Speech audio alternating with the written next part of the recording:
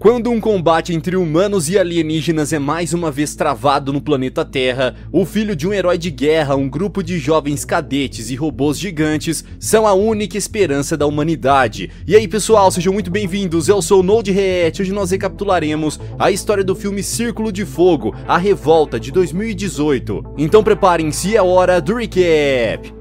Dez anos se passaram desde a batalha final entre humanos e uma raça alienígena gigantesca conhecida como Kaijus que entrou na Terra graças a uma fenda dimensional no Oceano Pacífico. Enviados pelos chamados precursores, os monstros quase destruíram o planeta Terra, mas a humanidade conseguiu fechar o portal e sair vencedora graças à criação dos Jaegers, robôs colossais de alta tecnologia e armamento. Desde então, o mundo continua sendo reconstruído, mas enquanto isso, algumas pessoas se aproveitam da situação. Um deles é Jake, filho do herói de guerra Stacker Pentecost. Jake faz festas em mansões destruídas pela guerra, vende itens roubados em troca de comida e principalmente faz comércio ilegal de peças de Jaegers desativados. Seu mais novo negócio é vender um capacitor em um ferro velho do governo, mas ao chegar no local mostrado no seu rastreador, alguém tinha pegado a mercadoria antes. Seus clientes não ficam nada satisfeitos com isso e uma perseguição se inicia. Jake consegue fugir, mas vai parar em um beco sem saída.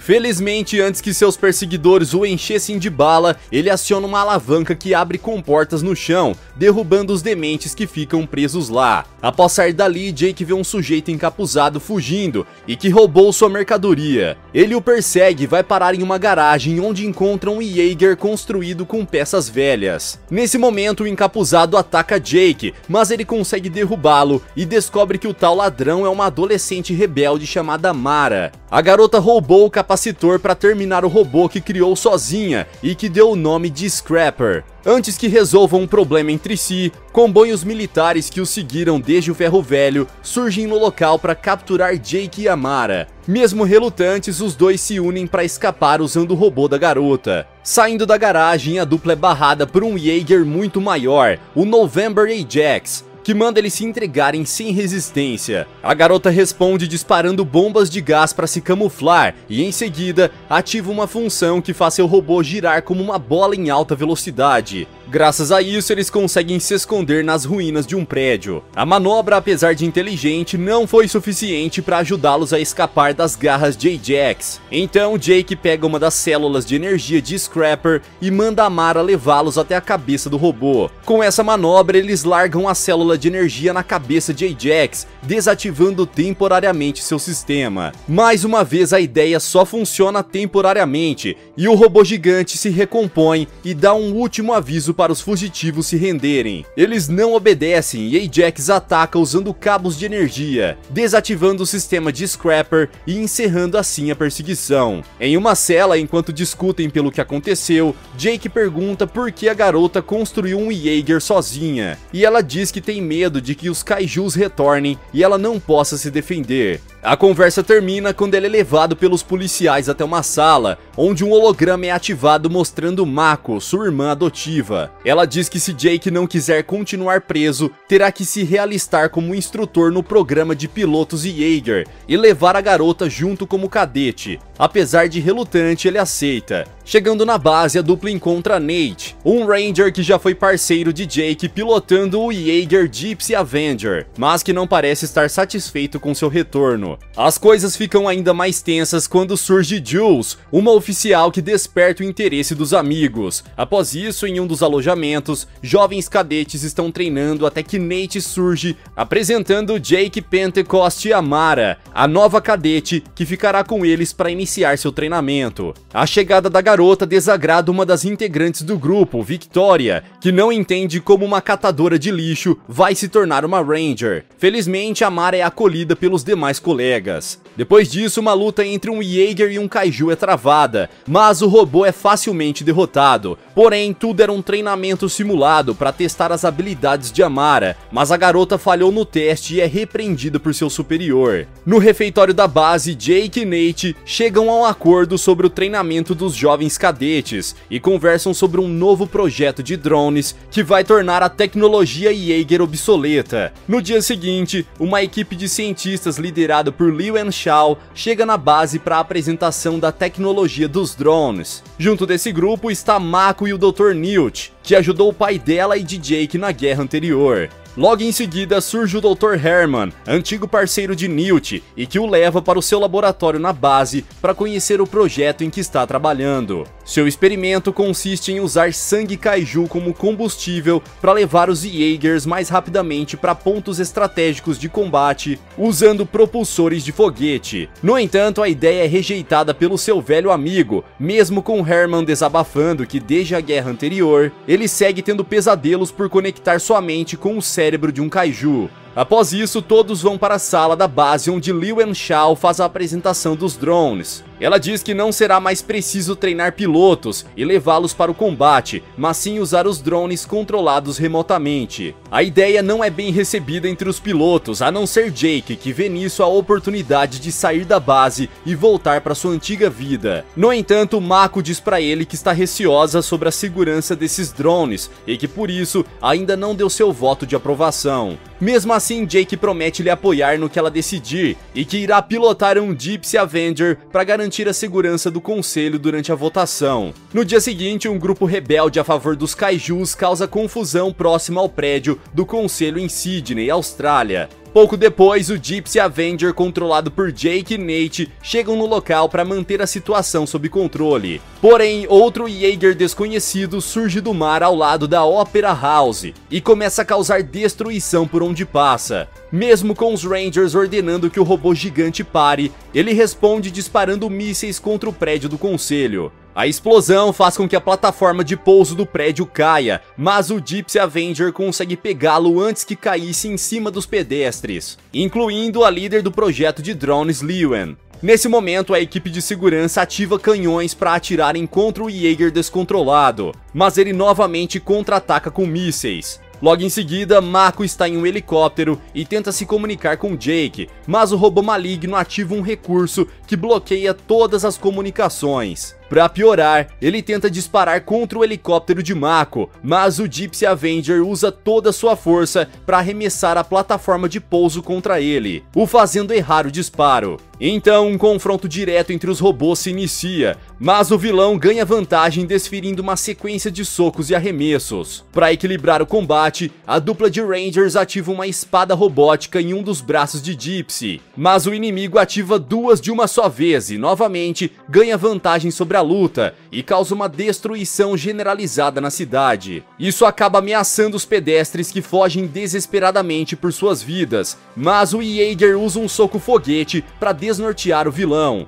Infelizmente, ele logo se recompõe e dispara mais mísseis, com um deles atingindo o helicóptero de Mako que começa a cair. Desesperado, Jake tenta resgatá-la, mas antes ele e seu parceiro ativam um canhão de cisão de gravidade, que dispara raios que atraem carros e rochas, formando uma espécie de chicote de roldão que atinge a cabeça do Jaeger demente. Depois disso, o Gypsy corre e salta para pegar o helicóptero de Mako, mas eles chegam tarde demais e ela cai, morrendo na explosão. Nesse momento, mais três Jaegers chegam para ajudar na batalha, o que faz com que o robô inimigo vá embora. De volta à base militar, Jake vê um holograma em memória de sua irmã e deixa uma foto de família em um momento feliz do passado. Após isso, ele reencontra Mara, que presta sentimentos pela sua perda. Agradecido, Jake então decide ajudá-la a se concentrar para poder controlar os Jaegers. Os dois então conectam suas mentes no simulador e começam a acessar as memórias um do outro. Nesse momento é revelado como a garota perdeu sua família em um ataque de kaiju, o que a fez construir Scrapper. Depois dessa memória trágica, a garota é reconfortada por Jake, mas logo ele é convocado para uma reunião.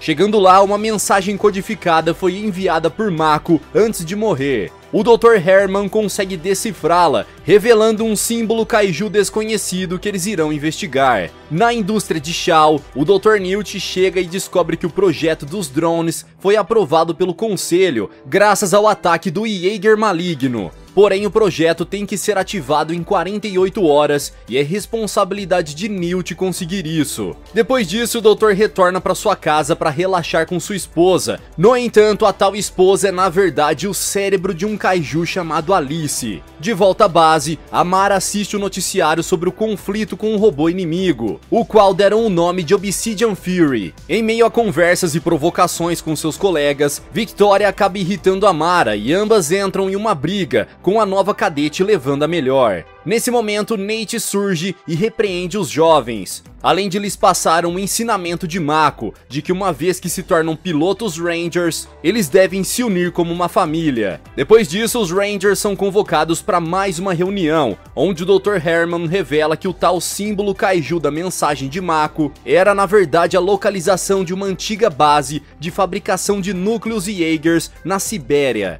Jake então pede permissão para ir com Nate até lá usando o Gypsy Avenger, mas ao chegarem está tudo deserto, porém eles são atingidos por um míssil, seguido por outros que destroem a fábrica. Os mísseis foram disparados pelo Obsidian Fury, e ao ver o responsável pela morte de Mako diante deles, a dupla parte para o confronto, atacando as pernas do inimigo e se jogando com ele em um precipício. Os dois robôs se levantam e o vilão dispara um raio de energia de seu núcleo contra Gypsy que para escapar dá um soco no chão, quebrando o gelo e afundando na água. Porém, do buraco saem mísseis que derrubam Fury no mar, mas o Gypsy emerge e agarra seu inimigo, levando-o de volta ao campo de batalha. Novamente, os dois Jaegers ativam suas espadas, mas os pilotos usam uma antiga manobra para desviar do ataque inimigo e acertá-lo no corpo. Logo depois, eles seguem para atacar o núcleo do inimigo, mas o robô consegue quebrar a espada e cruza suas duas lâminas para destruir o capacete de Gypsy. Felizmente, os dois pilotos conseguem contra-atacar com uma cabeçada em Fury,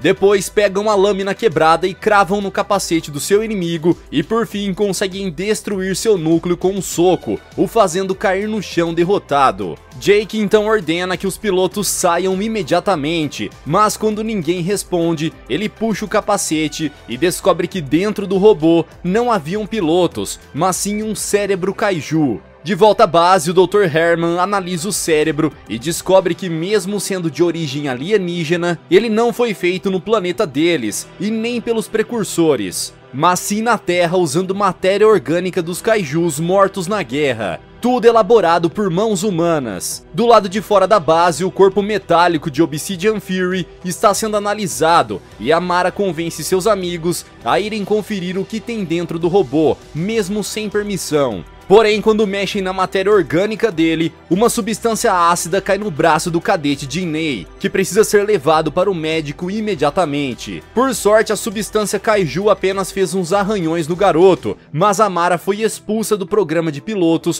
por sua infração. Compadecido pela garota, Jake lhe explica por que ele também foi expulso do programa, quando desobedeceu a uma ordem que o fez quase perder a amizade de Nate e até a admiração de seu pai. Ainda assim, ele diz para a garota se manter firme e não deixar que sua vida seja definida pelo que os outros pensam. Amara demonstra gratidão pelo conselho e revela a Jake que encontrou tecnologia das indústrias Shaw dentro de Obsidian. Essa informação pode indicar que a empresa de Liu Shaw foi responsável pelo ataque e Jake então pede ao Dr. Herman para procurar Newt e descobrir se de fato existe uma conexão desses eventos. Amara então se prepara para ir embora, o que deixa seus amigos e até mesmo Victoria desapontados. Porém, nesse momento, o programa de drones é finalmente ativado, mas algo dá muito errado, e eles começam a atacar a base Jaeger. Nesse momento, o Dr. Herman tinha conseguido se infiltrar nas indústrias Shaw e encontra Newt. Ele lhe diz que sua chefe o manipulou a criar os drones para poder vender uma solução de um problema que ela mesma criou usando tecnologia Kaiju.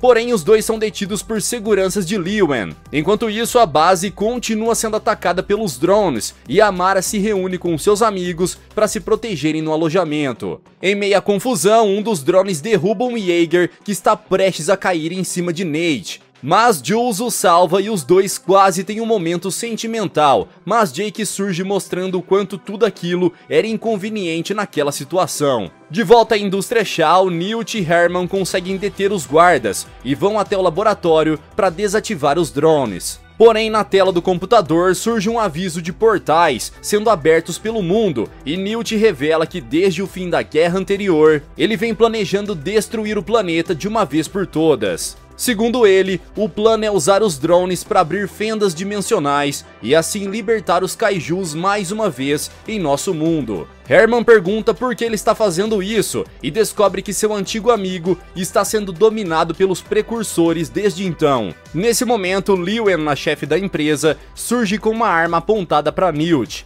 mas Herman a impede. Mesmo assim, ela manda seus seguranças capturarem o demente e eliminá-lo se necessário. Na base, Jake, Nate e os cadetes estão encurralados pelos drones, mas Lewen e Herman conseguem entrar na programação deles e desativar todos. Inclusive, graças a isso, os drones que estavam abrindo um portal são desativados, e o Kaiju que estava quase saindo é eliminado quando a porta se fecha, o cortando ao meio. Os demais portais são fechados, mas ainda assim, três kaijus conseguiram escapar, dois de nível 4 e um de nível 5 na Coreia do Sul, na Rússia e na China, e os três parecem estar indo na mesma direção. Na base, Jake ajuda os sobreviventes e é informado da chegada dos kaijus pelo Dr. Herman, e para detê-los, será necessário um exército de Jaegers. Porém, todos da base foram destruídos, então Jake reintegra Mara no programa e pede sua ajuda para construir robôs com as peças que sobraram.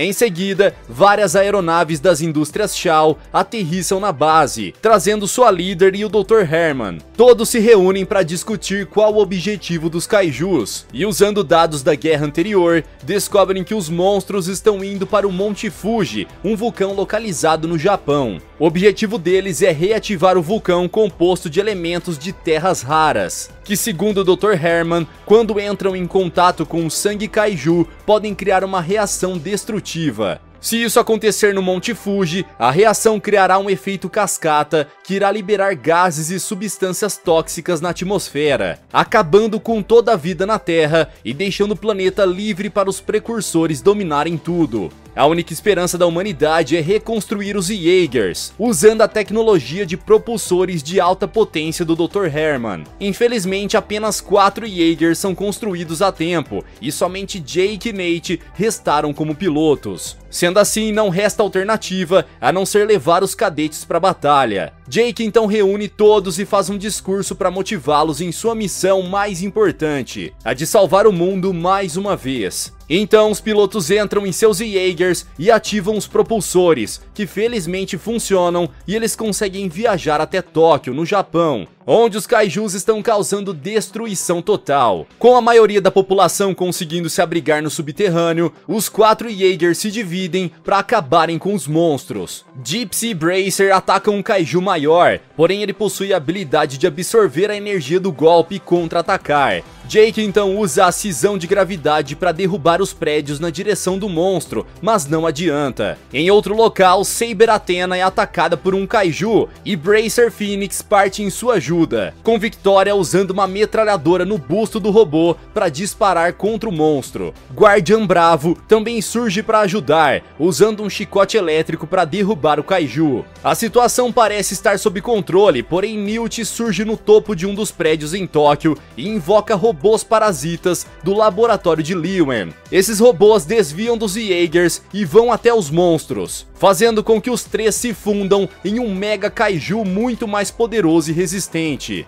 Jake então ordena que eles ataquem com tudo que tem, mas suas armas não são suficientes para deter o monstro.